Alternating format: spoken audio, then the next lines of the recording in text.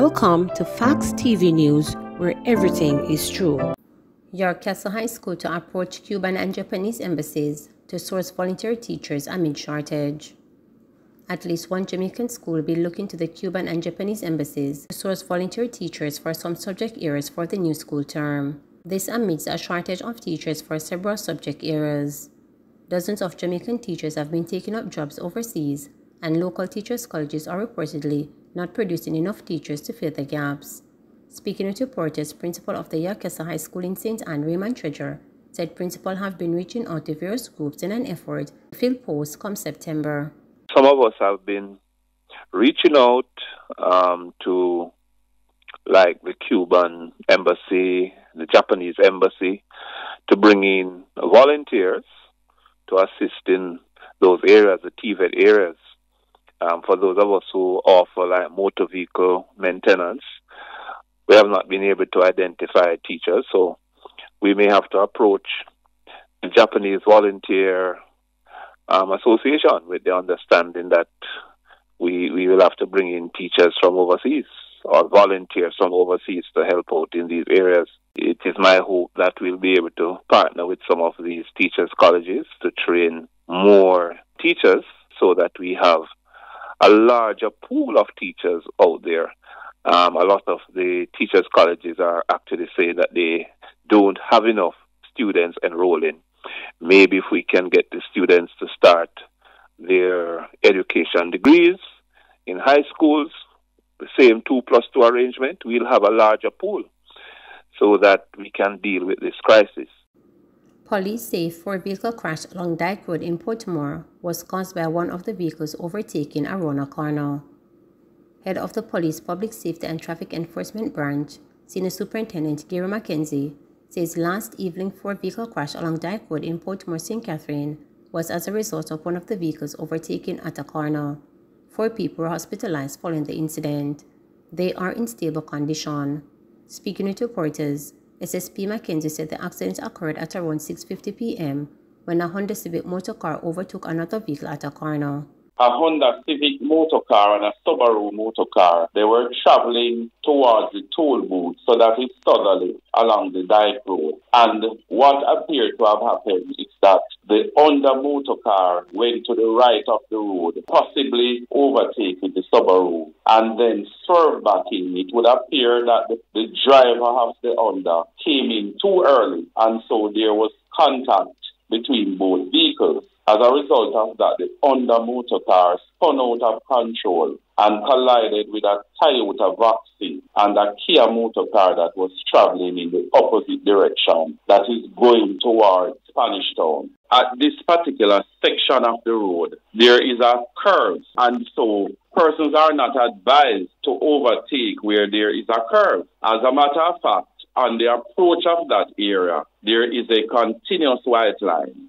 And so what the continuous white line means that no one should breach it, meaning that they should stay in their line. And there is a reason why it was placed there. It is because the sighting that one would have, they would not have it, meaning that the distance to allow a person to go to the right of the road, past the vehicle that they intend to overtake, and get back to the left of the road. The sight that they would have, it would really be too small. And so if we overtake in such a manner, by the time you are to get back in line, because there's a corner ahead, a vehicle can approach in the opposite direction before you go back to the left, and that will cause a collision, as what appears to be the case of the crash yesterday. Townsend frustrated at no court date for client Noel Maitland. Lawyers representing Constable Noel Maitland, who have been charged with the murder of Donnalee Donaldson, have expressed frustration at the delay by investigators to have been brought before the court to answer to the charge. Constable Maitland was charged on August 2nd following an investigation by the Major Investigation Division. Attorney Christopher Townsend told reporters that he is baffled by the delay in bringing his client before the court. There is no court date set for him to appear before the court, and he has been charged for some time now. He has a constitutional right to appear before the court, Townsend told reporters. Miss Donaldson, a social media personality, was reported missing on July 13 two days after she went to visit Constable Maitland at his St. Andrew apartment. The police believe she was murdered between 4 p.m. and 8 p.m. on July 12. Man killed by cops identified as Triggerman in 2021 murder. A 35-year-old man who was killed in a police shootout in March was recently discovered to be the triggerman in a 2021 murder. Joel Cheese Foster was positively identified as the man who shot and killed Makeda Pops Thompson, 27, on March 25, 2021. Both men were from Canaan Heights in Clarendon. According to reports, about 8.30 p.m. in March 2021, residents heard loud explosions sounding like gunshots and summoned the police. Upon their arrival, Thompson's body was seen lying face down along Boy Avenue in the community with what appeared to be gunshot wounds to the head and back. The scene was processed and the body was taken to the May Pen Hospital. Police said on Saturday, March 19, 2022, Foster was fatally shot after he engaged lawmen in a gunfire on Francis Avenue in the Paisley housing scheme in May Pen, Clarendon. A firearm was retrieved in that incident. Police said a witness to Thompson's murder recently positively identified Foster as the killer. Cops probe $500,000 in items stolen from Clarendon House.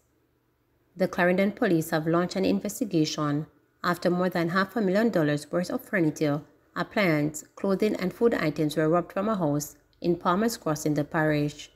The robbery reportedly occurred between 7 a.m. last Wednesday, August 3rd, and 6 a.m. the following day. It was reported that members of the household security locked up the four-bedroom dwelling and left. Upon returning the next morning, it was discovered that the front grill to the house was pried and the front door forced open. Several items were also discovered missing.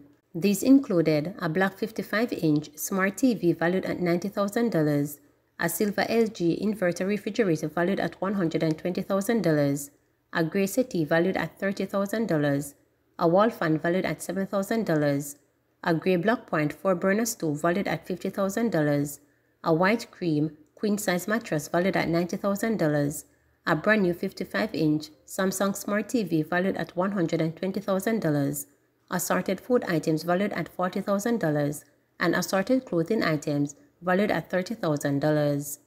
Following the discovery, the police were contacted and detectives visited and processed the scene. Clarendon Police Head urges church to stand up against crime. Commanding officer for the Clarendon Police Senior Superintendent Glenford Miller has called for the church community to do more to help to fight against crime. A lot of persons have been shot, a lot of persons have been killed. We have a little boy who they take away and no one can find him. Serious things are happening. These are the things we need the church to rise up and look out against because we need a spiritual awakening in this country of ours, George Miller. He was addressing the Longville Park Divisional Church service at the Miracle Tabernacle Freetown Church of God of Prophecy on Sunday. Miller called for the church to pray for the police, as he urged that the constable cannot survive without God. Stating that the time is now for the church to say enough is enough, he invited Christians to stand up and stamp out crime and criminals out of the society. As police officers, we can do nothing. As a matter of fact, we can't even solve crime if it is not for the Lord on our side. We need the support of the church to make not just Clarendon, but Jamaica a better place, he shared. Miller argued that fear is holding some persons back from joining in the fight against crime. You know the saying, we all want to go to heaven, but none of us want to die. None of us want to be the one. So as a result of that, we see nothing, we hear nothing, and we do nothing, and we watch criminals flourish, he said. Referring to the Jamaica 60th celebrations, the senior policeman questioned if Jamaica is really independent or if citizens are really free. Freedom, argued Miller, is going home and not having to lock one's grill behind, which he asserted is a false sense of freedom. Freedom, he shared, will come when all persons are united in the fighting against crime and violence. Pray for us. We need it because it is not an easy road. It is rough and we cannot do it alone. We need your support, church, in this fight against crime and violence because whatever is wrong with Jamaica, we can fix it by what is right with Jamaica and if we believe that we are the right persons for Jamaica, we can fix it. 28 new COVID-19 cases in Jamaica, no deaths reported. The Minister of Health and Wellness supported 28 new COVID-19 cases on Monday, August 8, bringing the infection total to 147,344. The new cases comprise 17 females and 11 males, with ages ranging from 14 years to 87 years. The cases are recorded in Kingston and St. Andrew 17, St. James 6, St. Catherine 4, and St. Elizabeth 1. No deaths were reported for the period.